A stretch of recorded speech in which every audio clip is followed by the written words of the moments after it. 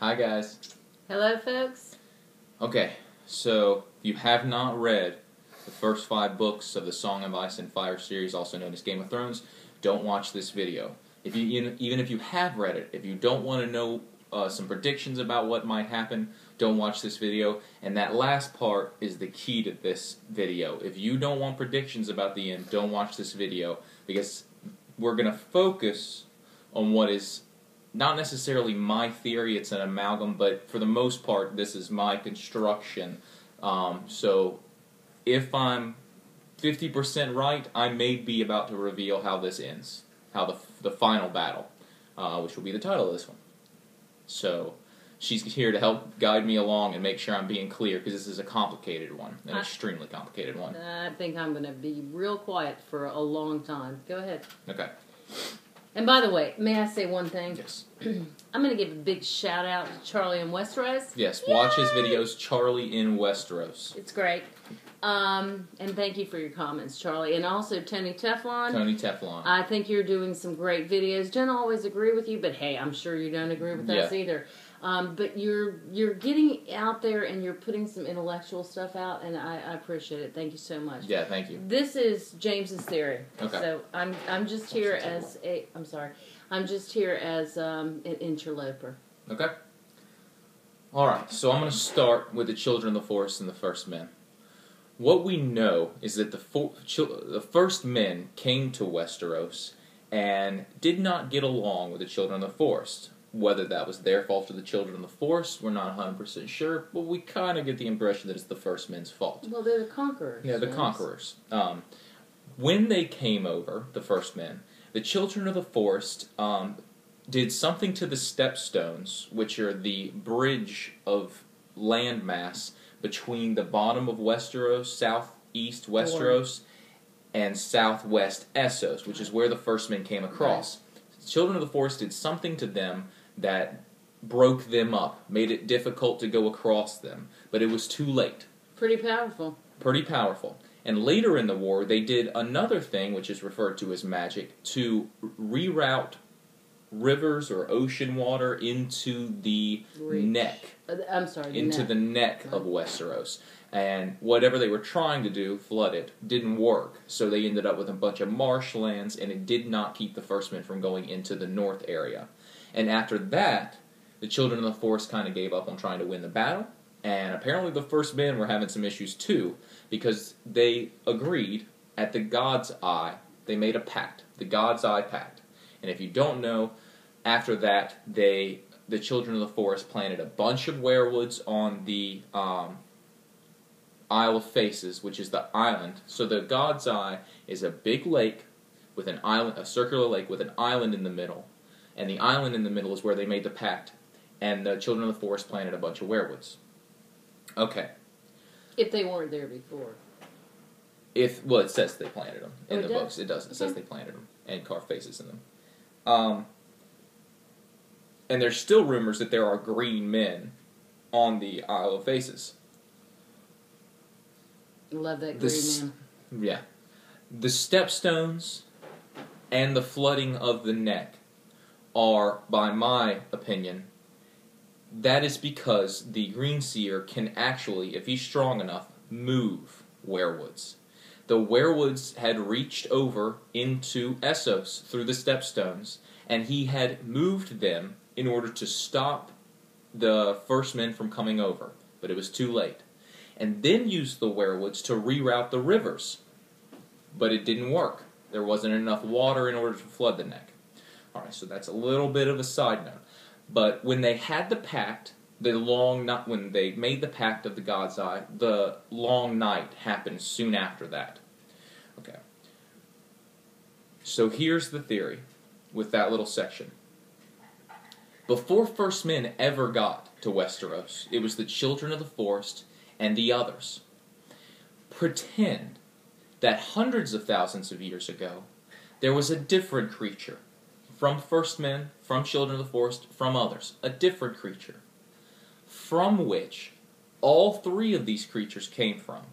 Kind of like an evolution. Some of the some of this particular creature ended up in the ice area and evolved into the others. and some of them ended up in the north of Westeros in that area, evolved into the Children of the Forest, and Man ended up in Essos and evolved into Man. Okay? If Man was not in Westeros, then Children of the Forest and the others might have had some difficulties over land area. Imagine that they had a pact. I'm not going to get too deeply into it, but the deal is if the Children of the Forest's hierarchy depends on who is the strongest ward, and it tends we we kind of assume it's a male. It is in the video of history and lore, and the others hierarchy depends on a female by lineage. Then they could have merged those two and created a new lineage, whether it was will, willingly, whether there was some stealing of another person. But if they melded those houses, the female other, the male children of the forest, and mated their children together, which is why we got the Targaryens to justify it, then that would have solidified them. Well, if the children of the forest later warred with first men, the children of the forest are little. The first men are big, similar to the others. So that to in order to resolve that conflict, the children of the forest's male heir, strongest warg, would have had to marry the first men's female heir. And if the children of the forest did that at the god's eye to resolve their differences, then by doing so, the children of the forest breached their pact with the others, which would be why the others. That was our cat picking And on our, our dog. dog. Then the children of the forest would have breached their pact with the others, which would explain why the others went to war, and arguably there was a female heir to the children of the forest throne and the other throne who was not given her due, who would have fought back. Through that, there is a female le- lineage left lost somewhere in this, okay? She's important later, but we'll get to that. But for now, the importance is that's why the others fought. And they got forced above the wall when the wall was built by Bran the Builder. If the children of the forest married the first men, then their children would have been the heirs to the Green Greenseer throne, whoever was the strongest warg amongst, amongst them. That is the Starks. That's where the Starks come from. They are the result of the pact between the gods, the children of the forest, and the first men. Okay? Eventually, after the others are forced up above the wall and lose the battle, the another an ultimate heir of the Starks named Brandon, Brandon the Builder, was both a king of Winterfell and the strongest warg. So he built the wall. Just like the children of the forest broke the stepstones, just like the children of the forest rerouted the the rivers into the neck, Bran the Builder built the wall out of weirwood trees, literally growing out of the ground. Over time, they got bigger. Over time, they connected to each other. Over time, they collected ice, which we see in Varamir Sixskin's chapter, the uh, weirwoods collecting ice.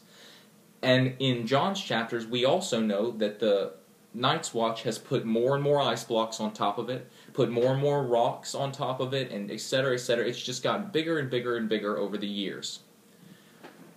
Okay. So it wasn't built by giants. It wasn't built by giants. And that is also why there is an area beyond the wall that the Night's Watch continually removes any other trees from. It's so that they can see, but it's also so the wall can maintain its um, water sources, all of that. Okay. So Might might argue so that other people above the wall can't utilize them. can't utilize them. Now, when they built the wall, some of the humans were left above the wall, trapped. And over time, the people on the wall felt like they weren't just fighting the others to keep them out, not really fighting the others, they're kind of dormant. They weren't really fighting the others, they're now fighting the wildlings, because the wildlings kind of want in or want resources and have issues. There's even the song of Bard, um, the Bael the bar. Bael the Bard, who uh, is a wildling. Well, Long also you story. can say the grass is always greener. The grass is always greener. Great point, Mama. The earlier I mentioned the female other children of the forest who was usurped by her brother or whoever who married the the first man. Her lineage end up ended up above the wall. Okay? Alright. So we're done with the children of the forest and the first men for a little bit. Now let's talk about the Night's King. What we know about the Night's King, supposedly, is that he could have been a Flint, a Norrey, a Woodfoot, an Umber, a Magnar of Skagos, a Bolton, or a Stark. And old Nan says, I know she he was a Stark, but it's mythology. What are we going to do with that? The story of the I Night like old man. we love old Nan. The story of the Night's King is that he ended up on the wall, became Lord Commander, and fell in love or beckoned a female other in and mated with her and claimed a kingdom on the wall. And what we really know after that is just that the king above the wall and the king below the wall went to war with him, killed him and his wife. Okay? Who That's were the considered evil. who were considered evil. That's the story of the Night's King. That's it. Okay? It's very important here that I reference Varamir's Sixskins chapter. There's a couple of things you need to know. Very important. It is chapter. arguably the most important chapter in every single one of these books. It really and truly, if you haven't read it like three or four times, I think you really need to. It's the prologue to Dance with Dragons. I Dance with Dragons. Big time. Here's a couple things you need to hear from it. Varamir's Sixskins mentions some of the morality that comes with warging. You're not supposed to warg an animal and eat man flesh, which he does in that chapter, but you're not supposed to. You're not supposed to Have sex, warg with an animal while it's having sex. right? Um, some of the key points. When you warg with a wolf, it's for life. It's called a marriage almost. You're not literally devoted to them sexually, but you will never be not connected to them. You are permanently connected. It's an to them. umbilical cord between you and your wolf. Number one. Um, number two, you're not supposed to stay in your animal for too long because it will overcome you. It will be you will become it. It will become you, and there's no separating the And two. arguably, that might be become more animalistic as opposed to human. and it depends on the animal you're doing too. You'll get different traits from each one. Right. The guy who teaches Varamir says birds are the worst. That's So that's two things. Another thing, th- these are huge, so remember them. Varamir Sixskins says he in the initial part of that chapter he's warged in his own wolf. His wolves are Varamir's starving in a tent in a, Alone. in a home, a building, and dying from a wound, ar- arguably. But he's warging into one of his three wolves, and they track down two or three men and one woman, and the woman has a baby. That's right. And when the wolves track her down, they see that her dugs, her breasts, are full of milk, and they're kind of like interested in that. And but more importantly, they notice the baby, and it says, "The meat on the pup is the sweetest." Remember that. The meat on the pup is the sweetest.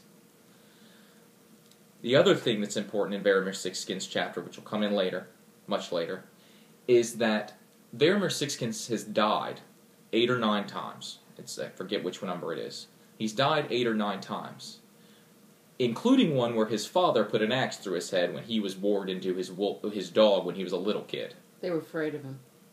He was so powerful. True.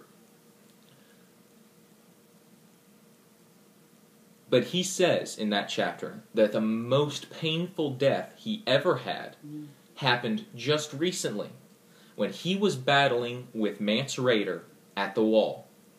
He had stolen Orell's eagle and was inside Orell's eagle during the war. And he felt what felt like a flaming arrow pierce him, but there was no flaming arrow and he said that it burned extremely hot. It was the worst pain he'd ever felt, and he felt like his pain and fear fed the flames and made it stronger, and that for a second he went mad That was Bef- hell. before before then entering his own um, before then returning to his own mind. Okay, so remember those. All right, so imagine that there's the king of Winterfell, king of in the north. But the Starks also have a claim to the Green Seer throne. So there's a combination of these two powers together that makes the unification of man work. One kind of keeps the others at bay, and the other one um, is keeps man at bay. It's the combination of the two. But when you build the wall, you've kind of slowly lost your connections between them, but not entirely. So imagine that there's a king in Winterfell who has three sons. His eldest son is a noble noble boy, but he doesn't have any warging abilities. I'm making this up, by the way, and I may be wrong on this, but it paints the picture for what I believe Martin's going to do. And he may just be a regular warg. The eldest son, maybe. But the let's per, say for a minute that there's I'm three gonna stay sons. out. You keep talking. The eldest son is noble, but is not a warg. The second son is the most powerful. There, one in one thousand men is a one in one thousand children of the forest is a warg. One in ten thousand wargs is a green seer. Well, imagine one in one thousand green seers. They're extremely powerful. They're the Uberman, and I would argue Brandon the Builder was one of those. So the second son Of the is first men. It's the first men we define them by, not children of the forest. it's so the second the first son is noble but not a warg. The second son is one of the most powerful wargs that has ever come around, It's scary. but he's not a very good guy. He's a young kid, let's say 10, but he's doing messed up stuff. His brother knows it. Now imagine that their dad dies.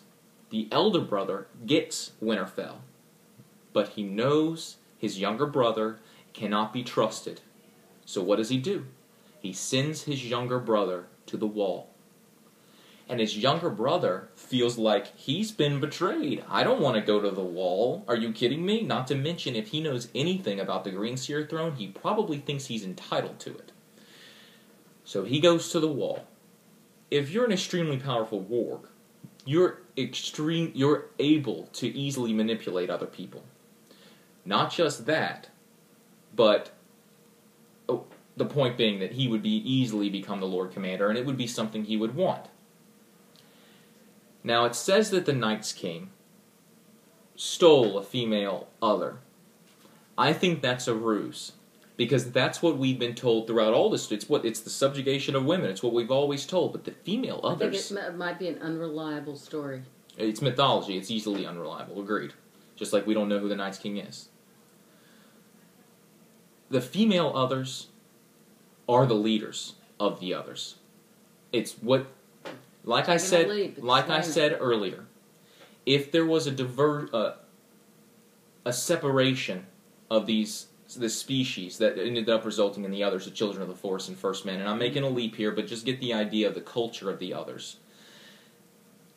If you're limited food, extreme cold, it's likely that the ones that would survive would be the ones that work together. The ones that become so empathic with each other that they don't fight with each other and that they do whatever they're commanded without question. And so imagine that the others actually have children out there and women that they absolutely love.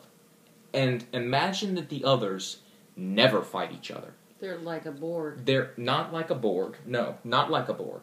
They are Explain. extremely empathetic. They're kind and sweet. The Borgs don't. Their emotions irrelevant.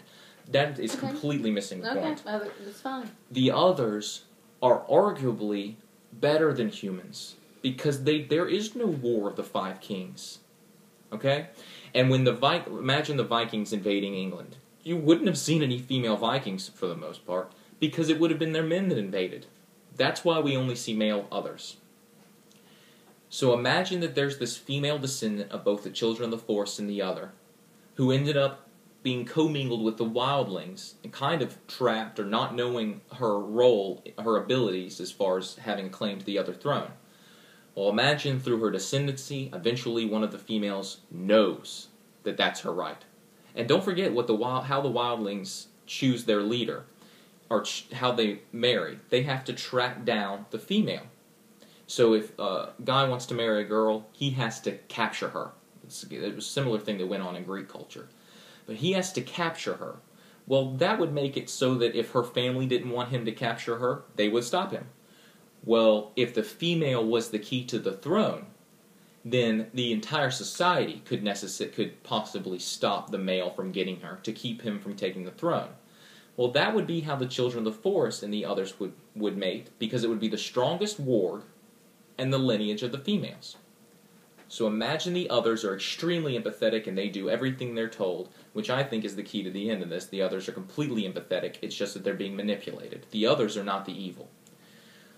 So imagine that this female, who appears as a human, though she's got blue eyes, uh, she's been mating with humans for a very long time. She's Her got family. her family, her extended relatives.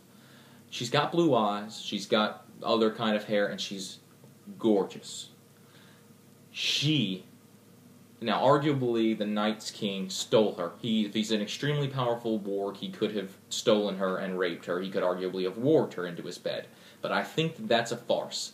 The truth is, she was extremely evil. And she wanted power. And she found him and told him, I know what you are. I know what you are. You're one of the strongest wargs that's ever lived. And I know what you want. If you mate with me, if you marry me, we can have it all. We can have absolutely everything. So they marry. And the Lord Commander, the Night's King of the Night's Watch, says, I'm, I'm king. I'm claiming the wall as a kingdom. Now, his noble brother tells, uh, in the south, arguably would have been like, "Ah, don't that's not the way it's supposed to happen but i'm not going to go to war over this. If he's going to keep the wall and protect it that's okay. Now the story doesn't say that. The story just goes straight into them going to war and that's fine. The way martin writes these stories he is putting us into situations that excite our emotions to an extreme extent whether that be in a love situation or a sad situation or an angry situation we are we associate ourselves with situations emotionally. Humanity. we associate ourselves with situations emotionally. That's what the red wedding is for. I believe that when the stark eldest brother went to treat with his eld- with his younger brother to say i don't agree with you but if you're going to take the wall that's fine. Just be sure to protect it when he went the Night's King and his Night's Queen already knew what they were going to do. They want the world. They don't want the wall, they want the world. So the elder brother shows up and we get a red wedding scene. But just like Manderley did to um, the Freys, the Night's King feeds his elder brother's children to him to end his lineage. And that's the Rat's Cook. But the Rat's Cook story, if any if anybody out there isn't quite sure, is that um, we, do you remember, do you remember it? You want to give it?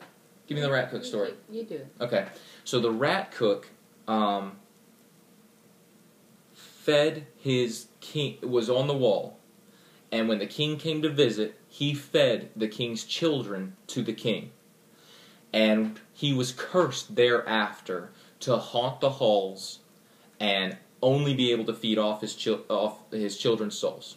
Okay, so when the Night's King's brother showed up, the Night's King and his Night's Queen killed the eldest brother's kids and fed it to him. It's meant to be a combination of Manderley and the Red Wedding, so that when we hear one sentence about what actually happened in the sixth or seventh book, we immediately associate all this emotion with it. Okay. All right. Here's here we're gonna the, now begins the key to this. Okay. Then this then the king of winter, the king below the wall, and the king above the wall go to war. They kill the Night's King and the Night's Queen. That's in that's in the mythology. Uh, if you watch the history and lore, they they actually show the Night's Queen being stabbed with the stick, and that's how we kind of know that that's what happened. That she was actually killed. The mythology says just says they killed the Night's King.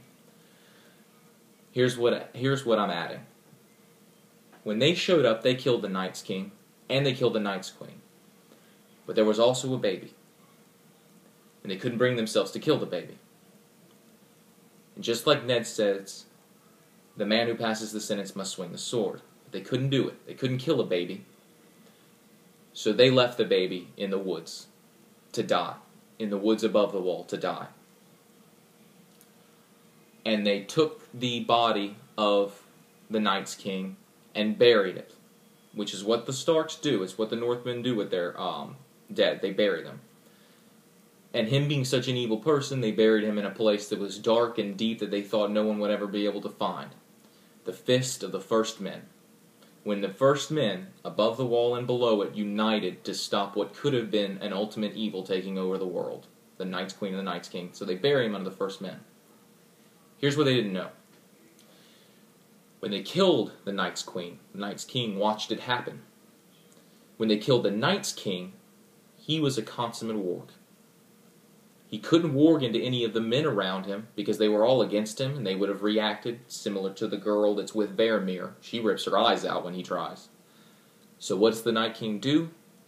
He wargs into his own child. And they left him out in the woods. The baby.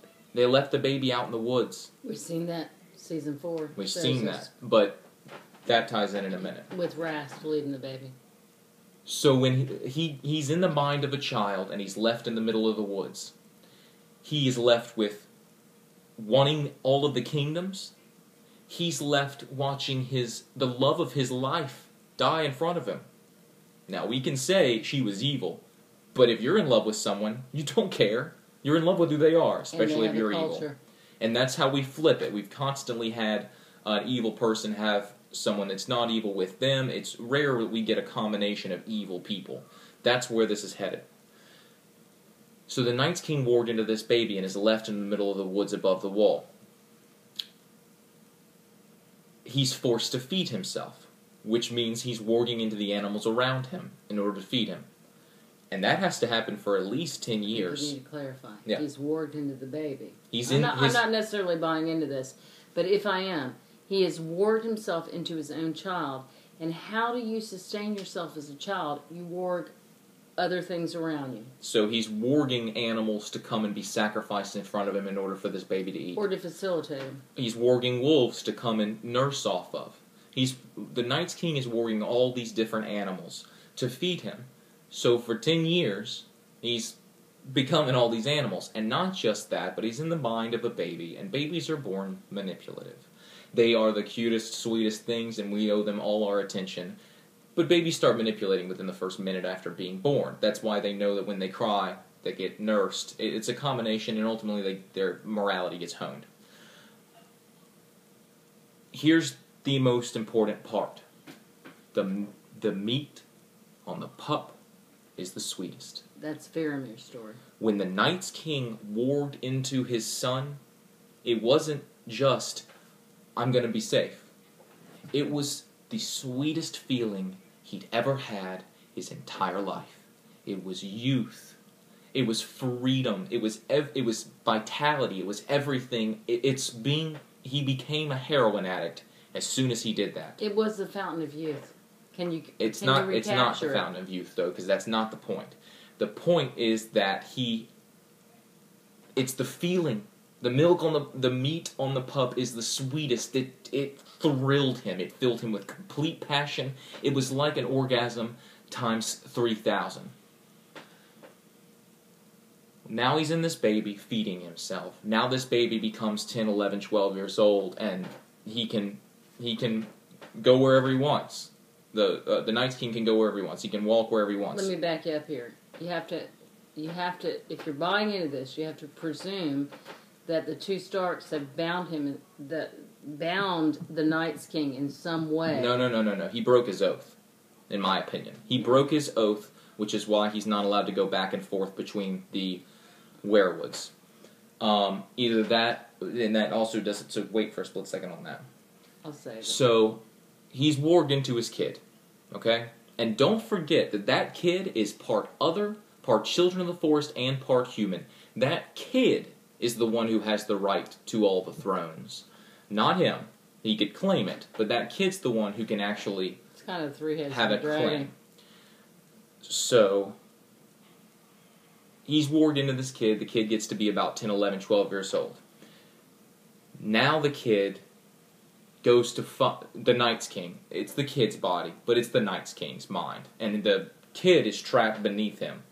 The Night's King goes to find his body. Buried beneath the first men. And when he finds it, it's a white. Which it would be because he was mating with a female other. So he puts his mind into the white. Now he's immortal. He has no need to eat. He has no need to sleep. He has no need to breathe. He has been tainted by bloodlust and envy, and the only thing he wants is power and to feed off the souls of children. That is why you saw Rast carrying that baby in the trailer, because he's offering it to Cold to the Night's King, and the Night's King is Cold Hands, and he's been waiting for six thousand years for his plan to come to fruition. But the issue is he can't sit on that green seer throne because he broke his oath and because or because he's a wight. I don't quite have that worked out. Mm. Some of that combination makes it so he can't go into that green seer throne. He also can't go below the wall because he's arguably he can't go below the wall because he broke his oath, and he can't go into the green seer throne because he's a wight. Some combination thereof. Now go back to his son. When he when the Night's King put his mind into his original body, his son is now left without his dad in his mind. But what does Varamir say? When you warg a wolf, it's for life. It's a marriage. Imagine warging your own. Imagine warging a child. It's for life. It's like a marriage. Now imagine it being your own son. And don't forget, the Night's King is extremely powerful. So his son can go below the wall. The Night's King's mind can't go below the wall, but his son can. And his son, in my opinion, because of leeches, has been manipulating the situation for for six thousand years in the north and the south, below, everything below the wall, in order to try to create a situation, and he's doing it under his dad's instruction. This guy is trying to create a situation where his dad can come in and take over, to some extent. There's so, he's he has got a connection to his dad, where his dad's telling him something, and his dad's telling him, if you do X, you'll get Y. And you've got a thousand years to do it. And it. it keeps happening. Every time he his dad tells him he'll get something, he gets it. Every eh, but every plan keeps failing. It keeps failing over and over and over. But you got a lifetime to keep failing. But you got a lifetime to keep failing. And I bet you if you read the Princess and the Queen that we're going to find out that in the Princess and the Queen this son was involved in that and he's the one who I don't want to spoil the ending, but he's the one who disappears from the Red Keep and later brings a missing character back to a particular place. Uh, that was very vague, but I don't want to spoil the story for if you haven't read it. So he's he.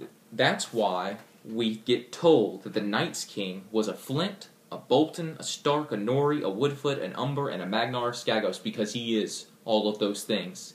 Not him, but his son. He has been to all these different places trying to take over. In my opinion, Harren the Black was this kid.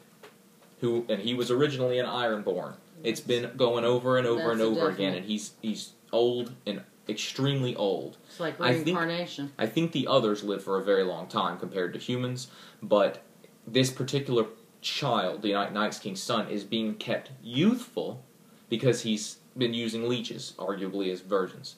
And what does Harren the Black's wife do? Bathes in virgin blood. I bet because she was aging and her husband wasn't, and she couldn't figure out how it was not it Couldn't was keep, happening. Couldn't keep Uh, being a trophy wife. Now take a quick second to It's think. like that's a comment on plastic surgery. Interesting. I, I it's I disagree because plastic surgery is not quite as evil as, another thing, as bathing in virgin's Yeah. bloods. So take a quick second to who I'm thinking about when I say that the Night's King's son is still alive, being manipulated by his dad, who's telling him all these things he's going to have and be king of the North, everything in the world, and he's been doing it for a very long time. If you could keep doing things over and over again, don't you think finally you might succeed? Forever young. Forever young. It's Roose Bolton. Okay. He is not the Night's King. He is not the Night's King. He's got the Night's King talking to him once in his head. I think he's constantly present. That's and I think the Night's King told him, tell and don't forget that if the Night's King had okay, let me add one more thing to this. Eventually, the Night's King finds somebody on the wall who has. This is like 150 years ago. Is that about right? 150 years ago, he finds a guy who's on the wall who has got some interest in the black arts, and he seduces him into telling him, "I can, I can show you things. Come with me. I'll get you. I'll show you things." That's Bloodraven, and that's what happened. The Night's King is manipulating Bloodraven. If you read the Dunk and Egg tales, the Mystery Knight, it kind of implies that at the end of the Mystery Knight, Bloodraven got his own egg. Mm-hmm. if the Night's King was able to get into Bloodraven's mind, he would know where that egg was. Also, the Night's King cannot go into that Green Seer throne because he's blocked. It's warded. It's correct. It's Somehow, warded, it's and I think that that's because he's a wight. Something that the Children of the Forest has done is keeping out wights, or the original Green Seer. So he can't go in, but Bloodraven can. Bloodraven is not a warg, even though he arguably has North blood in him. He is not really a warg. He might have had a little bit of warging, but he's not really a warg. But he had an egg, and he could sit on that Green Seer throne. And he do- has tar blood. True. He, I don't think that matters, but I, I he does, does have. matter. Uh, well, my story does Go not. ahead. He gets Bloodraven to sit on that throne.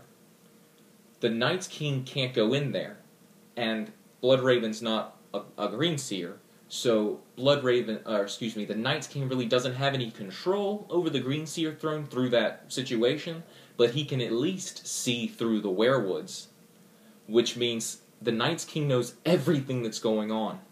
Anytime anybody talks in private near a weirwood, he knows it. He's a puppet master. He's a puppet master. Okay. So, but that's why he. So here's the combination that is going to work for him. He, he's finally got all three things he needs. He's got, in my opinion, Bloodraven's dragon. This is a stretch. This is the biggest stretch out of all Follow this. us with it. But he's got Bloodraven's dragon born deep within those caverns. Bloodraven took that egg in with him, which was probably the Night's King's only way to get Bloodraven to trust him. I'll let you take the egg in there. You can take the egg. The egg is deep within those that cave and has been birthed. Bear with me. Believe that that's happening. Okay, it's a worm, which is what dragons were. They were worms. They just had wings. So, and I think it has wings, but it's a worm deep within the caves, just like all the other dragons are digging tunnels. that's- This one's digging tunnels. Okay? And arguably, the Night's King, because he's such a consummate warg, might be able to warg that dragon. Maybe. Maybe. Okay? So, number one, he's got a dragon in there, and you're thinking, well, what does that have to do with his plan? I'm going to tell you in just a second. In order for Blood Ra- uh, in order for the Night's King to win, he needs the Green Seer throne. That's all he needs. But he can't go into the Green Seer throne directly because it's a it's It's he's warded by warded. the weirwoods. by the were by the werewolves or some kind of spell. And he can't go below the wall. But if he can get an extremely powerful ward to sit on the throne, the Green Seer throne, and manipulate that gr- that Green Seer warg into taking the wall down, now the Night's King can go below the wall. And that is done by convincing Bran he has to do it, And which he's has been, doing it since the second paragraph of the first, book. book. So that gets the wall down, and I think it'll be Jon coming back from Hardhome with all these kids and children from Hardhome, and the others on their tail, and then you get the Night's King through Bloodraven, whispering in Bran's ear, "You've got to take it down, Bran," and Bran takes it down. That gets him. That gets the Night's Tell King. him why he takes it down. That gets the Night's King below the wall with all his army. But Bran wouldn't do it for Bran would. a re- Bran wouldn't take the wall down without a reason. and he's going to do it to protect Jon. and all those children and people. Now the wall's down, but that doesn't get him the Green Seer throne. In order to make sure that the Night's King doesn't have to fight men, that he can protect himself with the others, but not really fight men, he needs the Night's King needs his son to create complete chaos. The Red Wedding, convincing the Freys that they've got power, getting Roose to get Ramsay to go to all these different places in the north and eat all their food and destroy them and create complete chaos. Um, to think make the Lannisters think they're go- they're going to win. He doesn't care about the South though. He doesn't care about the South because all he needs is the Green Seer throne, and he can almost control the world. So the Lannisters, that's the Lannisters, the Varys, all that stuff. That's that's tertiary to what he he concern his he's concerned with. So now he's got the wall down because Bran did it. He's got chaos in the north because he's got his son to do it. And number three, he's got a dragon in those caves. And arguably, the weirwoods are feeding off a water source, which arguably is the same water source beneath Winterfell, the hot springs, even the pond that's next to the the heart tree, Godswood. the Godswood, the heart tree in Winterfell has a pool next to it, which Osha says she never felt the bottom. And Bran says, Osha says maybe it didn't have a bottom. Okay, so I'm gonna veer off that for a split second because I need you to hear this. She, this is the part she hates me to talk about, but I'm gonna do it anyway. Imagine for a second, Arya is a faceless man. She comes to Westeros with the goal of killing Ramsay because somebody who Ramsay has her tortured or something, I guarantee you, has prayed the faceless god to kill and argue uh, to kill Ramsay. Ramsay is what she's coming after, and in my opinion, Littlefinger will have already traded Sansa to the Boltons in exchange for their allegiance, which means Ramsay now has the real, uh, uh, has Sansa Heir. instead of a fake one, Jeyne Poole. He has Sansa, The real heir. the to real, Winterfell. the real heir to Winterfell. As and they've far been as dying for Winterfell. and that you get this whole situation where Sansa's trying to manipulate Ramsay in order to keep him from hurting her, Oh, and it gets switched from domination to submission. But whatever, Arya shows up and kills Ramsay, and it's perfect. They're the flayed men, and that's what she's been taught to do with flaying faces But it'll be bittersweet And because Ram- Ramsay was manipulated as well. Hold up a split second. You're right about that. Her point is that if Sansa has now flipped R- Ramsay into being a puppy, a submissive puppy, A then just when we start to think, you know what, this might work, Sansa finally has her dog. Nah, No, hear me out on that. It's this dog she's I'm gonna shut up, manipulated. She's a singer. But we've kind of gotten a little empathetic with Ramsay because we realize it's a power play, and as long as you keep him subservient, he'll he functions completely fine. Um, then Arya shows up and kills him, so it's bittersweet, and she flees him after she uses her wolves to chase him down, just like he's been doing the whole time. I'm going to skip a lot of stuff that I've talked about in other videos, but ultimately you get a huge battle at Harrenhal. You get Arya, Sansa, and Jon all riding dragons. Um, now Arya, who and Arya has kind of come back a little bit. She's starting. She's she finally sees Sansa with Jon. She might even see her mom. I'm not sure about that, but she starts to come back and think, "This is who I." She's not herself right now. She's an invisible character. She's starting to come back. I've talked about this in a previous video, but I'm going to do it anyway because that's the point of this video. So she is a loner, though. Now the Battle of Harrenhal's over and Arya has her own dragon.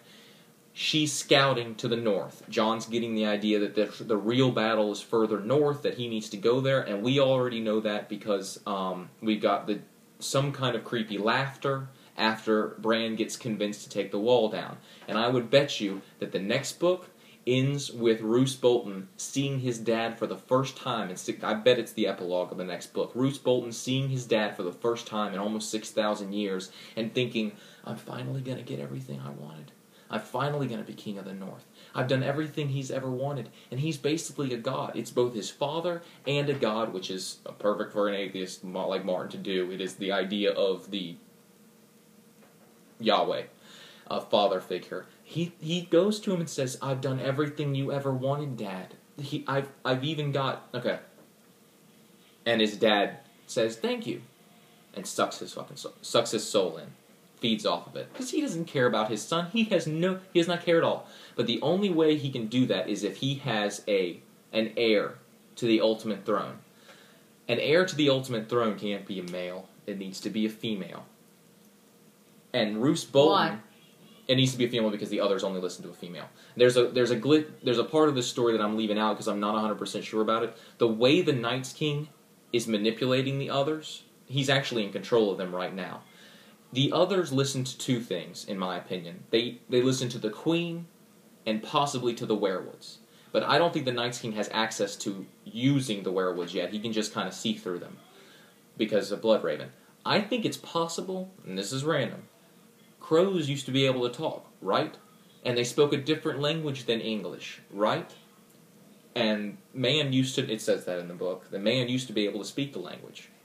Um, because crows can still talk. It's just the man used, okay.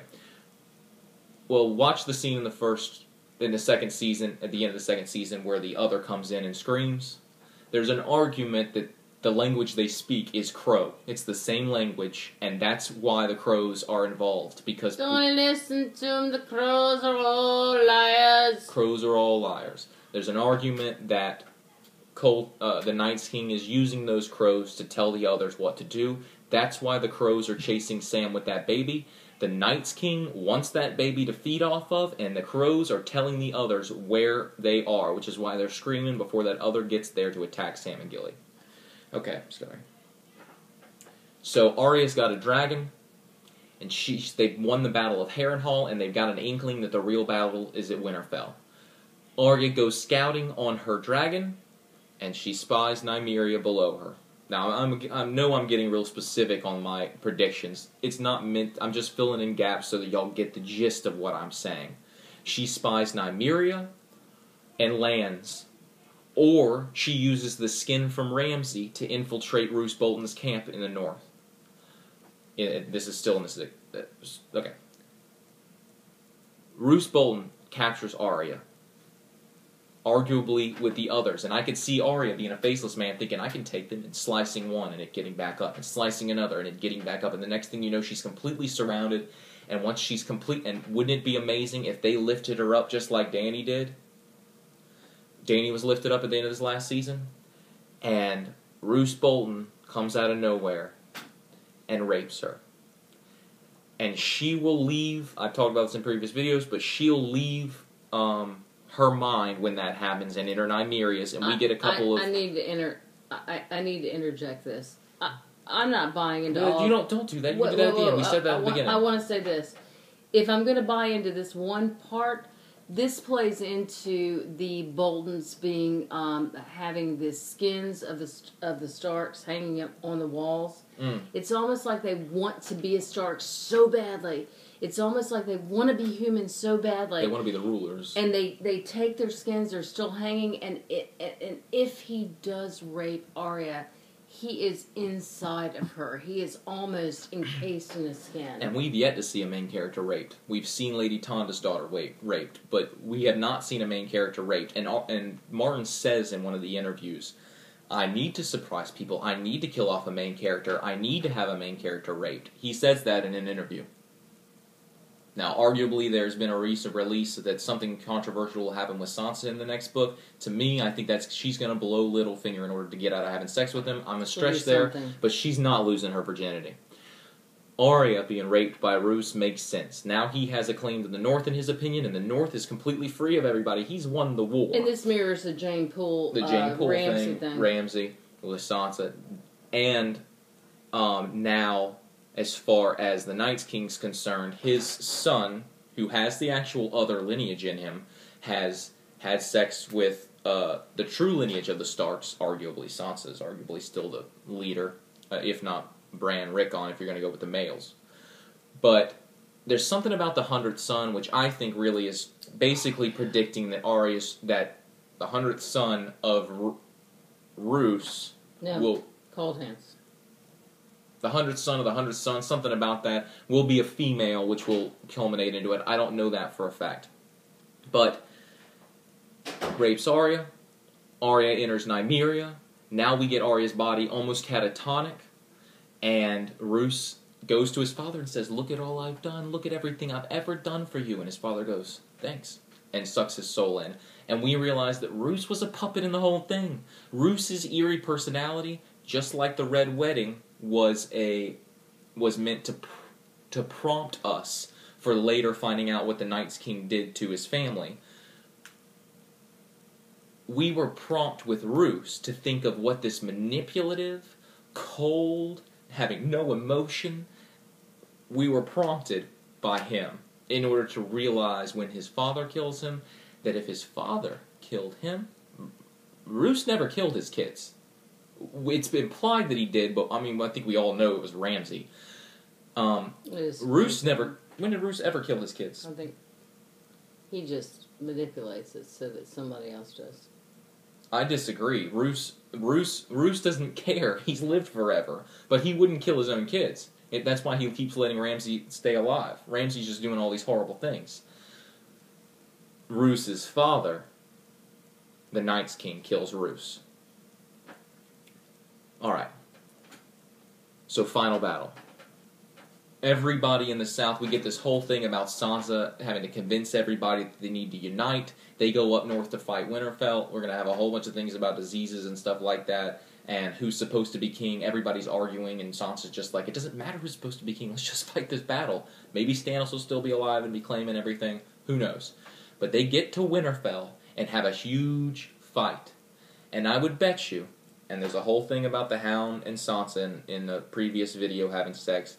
If they have sex and Sansa gets pregnant, now the Hound has gotten everything he wants. All he wants now is to be a knight.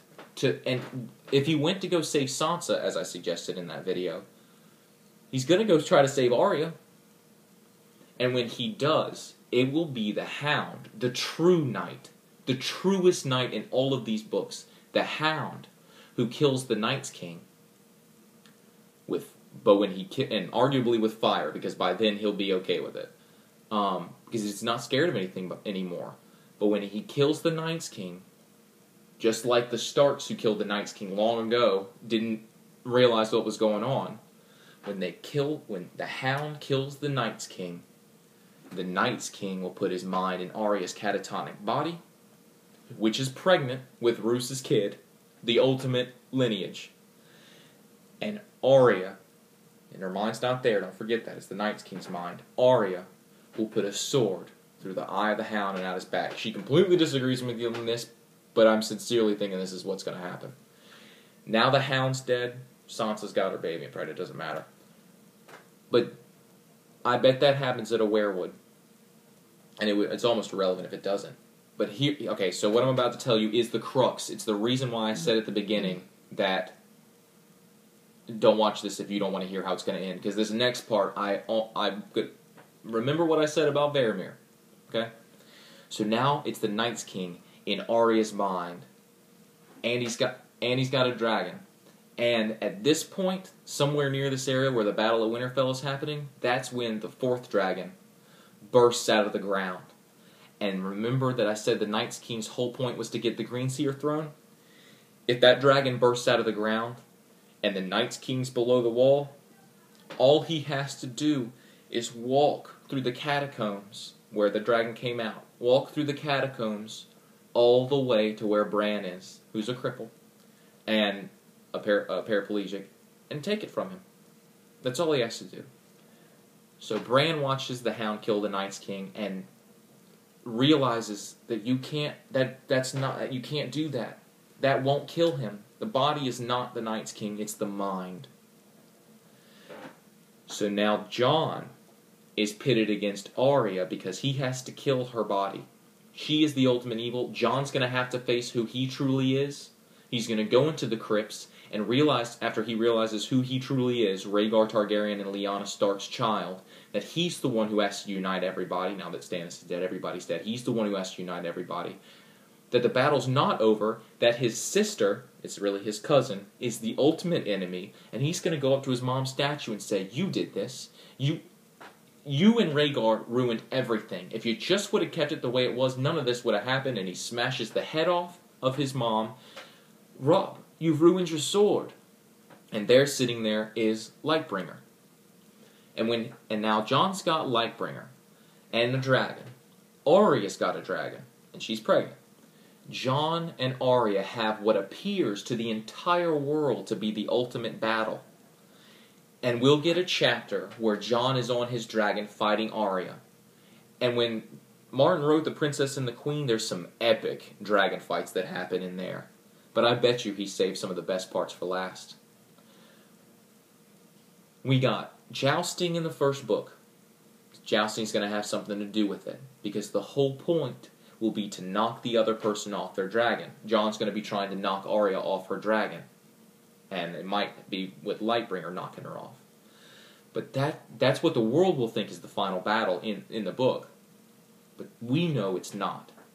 So we get this epic battle, and Jon finally gets to the opposite side of Arya because Arya fights left handed.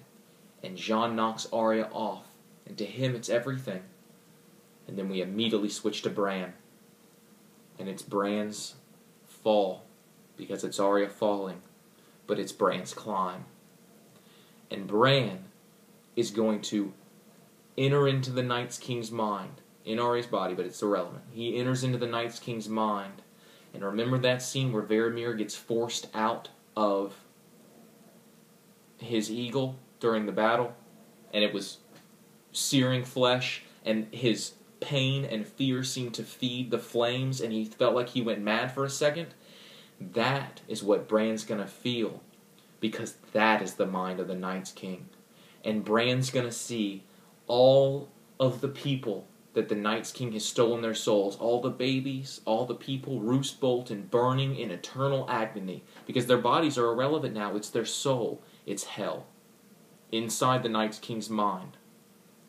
And just like we get Bran's chapter where the crow pecks at his in between pecks his eyes out and then between his um, eyebrows before he finds in his third eye and picks out brain matter until it reveals to Bran the fall from the tower, the, the things I do for love.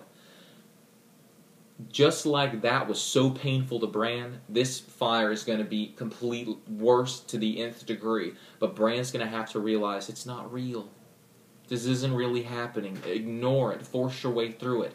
And when he gets through the pain, then he's drowning in darkness.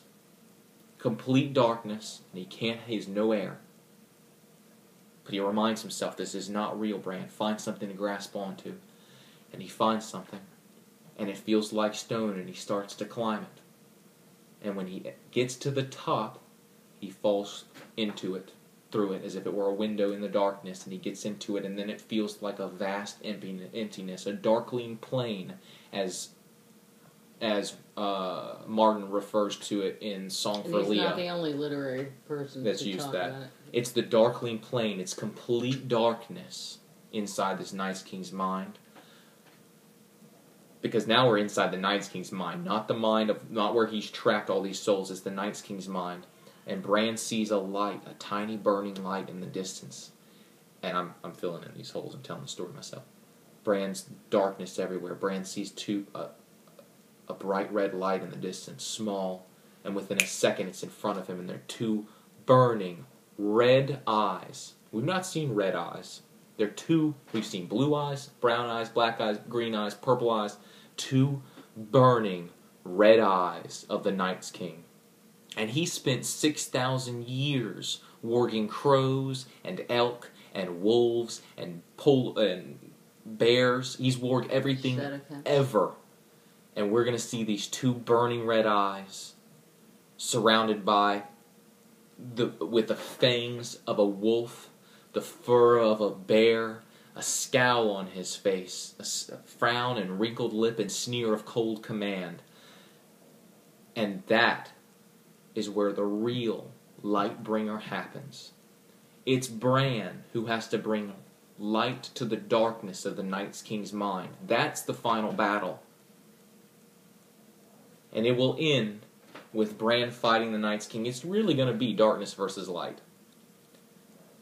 And it'll end with us not 100% sure how it ended, but knowing that what they were fighting over was the baby inside Arya. Mm, and then we jump. If you bind Mom, it, wait, wait. They're fu- they're fighting over the baby. That's what they're fighting over. They're fighting over the baby inside Arya's belly. And we end that chapter. We just had the Jon chapter with him fighting Arya and knocking her off. Then we immediately get the Bran chapter, which is both the fall and the climb. And then we end it knowing they're fighting over the baby and not 100% sure how the battle ends and we end it with the next chapter being Jon landing next to the crushed body of Arya next to the weirwood, and her giving her dead body giving birth, and Jon having to. I've taught mentioned this in a previous video. Jon, we just saw what the Night's King was: dragon wings, teeth, fangs from the wolf. He's got the hair of a. Uh, he's got the claws of a shadow cat, the fur of a bear. He's everything, and red eyes, and evil, complete evil. Not to mention, we were told that Dany's baby was born with maggots growing in it and all that stuff. We also know that this baby is a descendant of the others and the children of the forest and the first men. It's it's going to be an abomination, and Jon is left with the decision of whether to give birth to this baby. It's going to be born. Whether to let this baby survive or not. And the man who the sentence must swing the sword. But this baby will be born, and it'll be beautiful, and Jon will let it live because that is the ultimate lesson in this. And it's not you cannot blame a child for his parents' faults. You do your best to make the child the best person it can be. It's their parents' faults are not theirs. Add that to the fact that the Night's King turns out to be the ultimate evil, and we find out that Val is the descendant of the female other's lineage, and so was her sister Dalla. And watch the video about Rhaegar. Arguably, that's what Rhaegar was trying to do with Dalla, if that's true, or Mance Rayder. And that Val, now that the Night's King is done and is not manipulating the others anymore, Val is the key to the others. Jon lets this baby survive and is going to raise it as his own, or maybe give it to some, give it to Sam to raise, somebody to raise. Um, so we realize the others are arguably more empathetic than humans because they don't have a war of the five kings, and they do exactly what they're told by their leader. The key is to have a good leader. So now you've got Val, head of the others, and arguably the entire society of man is going to think the war's not over. There's an entire society that wants to kill us. There's Val with all the others, and Jon with all of the men behind him. And it's their decision to, to unite. And Jon was offered Val previously by Stannis and refused to take it. And just like Ned married Catelyn to solidify their union right before the war, and was not in love with Catelyn, and Catelyn not in love with him, but they grew. We get Val and Jon uniting in order to resolve this entire issue. And now that the wall's down, arguably that we get a, a, a dream of spring, so that snow arguably melts. We get a river that divides the other's territory and some wildlings, including arguably the Magnar of Thenn you get the division of their cultures from the rest of the um, cultures, and you, you could get a nice bridge across it. And arguably, there's weirwood roots underneath it that are feeding off of it because that was what fell. That was the wall. So Bran, being able to control the weirwood roots, could blockade anybody that came through.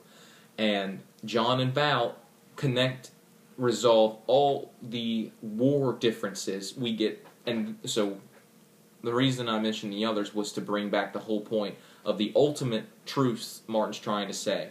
You cannot blame a child for the faults of their parents, and you must understand a culture in order to truly be able to treat with them and form a mutual respect. And sometimes you need a border in between it. But it's not about a border to say F you. It's about a border saying, we're culturally divided. Let's just agree that we'll to we'll be on our own and we'll do our own thing and not mess with each other.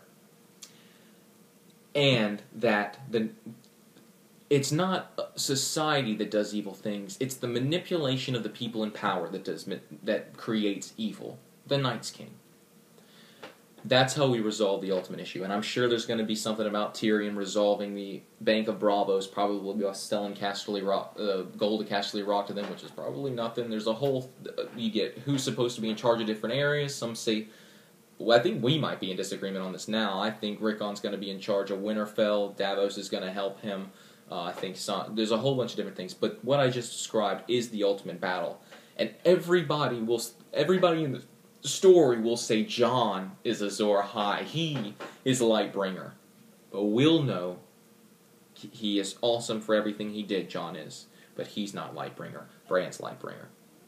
And that's what Martin's playing with. You mythologies build on themselves, but it won't matter that no one knows Bran's not the Lightbringer because it's stored for all history what he did. It's stored in the weirwood roots, and the next Green Seer will be aware of it. And let me add this: now that there's a tunnel between Winterfell and um, the Green Seer throne because of that dragon that came through. Now that there's a tunnel between those two, wouldn't it be great if we find out at the end, say we get an epilogue five years later, Rickon's getting married, in my opinion, to Shireen Baratheon. But we get all these people meeting back together, and it's a beautiful thing. We see how these kids are growing, and we even get some kind of inclination that one of these kids is going to be the next Green Seer and is communicating with a weirwood. Wouldn't it be great if Rickon says to Jon or somebody that he's been walking with Shaggydog deeper and deeper into those crypts. And what are those crypts?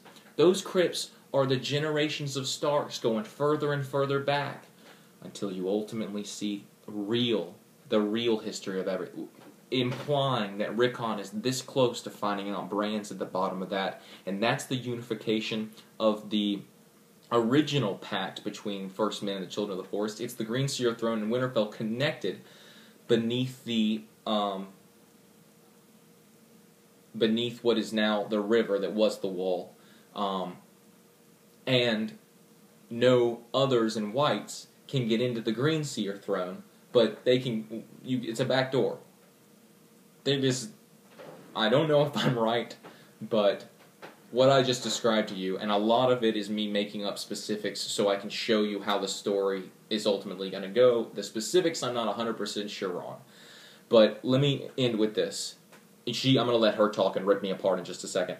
Um, the there is a song that is sung by a singer at the the Purple Wedding that is supposedly 77 lines long and we only get like the first five lines, and Tyrion's listening to it and just ignores it. He even fills in one of the lines as a jest. Martin's written the song. Quite literally, in my opinion, Martin has written a song that is meant to be a summation of this entire story. And it will be the last lines of the book, a song being sung. And it will have to do with the Night's King, with Jon, with Ray. It will be everything surmised, but not too detailed so that if you and I, wanting to tell our little kids a story, can say this song, and I bet you that's the song they end the last episode with. But we can tell the kids this song so that later, when they grow up, they can read the books and go, Mom, you've been telling me this song my whole life. So let me give you the only lines of the song we know. Now, the way the song's written is stanza uh, is stanza and then like a chorus in the background um, almost like the muses in an old um, epic say a single line in between the rhyming verses. So A, A, random line, B, B, random line. Those random lines are meant to be omitted, in my opinion, so I'm just going to give you the other parts. The Dark Lord brooded high in his tower, in a castle as black as the night. He feasted on bloodlust and envy and filled his cup full up with spite. My brother once ruled seven kingdoms, he said to his Harridan wife. I'll take what was his and make it all mine. Let his son feel the point of my knife. There's a couple of other lines, but that but we don't really know where they go because Tyrion interrupts them, and we so we don't know the whole song. But I bet you that that's part of the 77. I bet Martin has 77 lines in a song he's written that will be at the end of this. The ultimate song of Ice and Fire, which is the mythology they're meant to tell their children. Thank y'all for watching me wax poetic, and thank you mm, so much for not justifiably interrupting me and ripping me apart.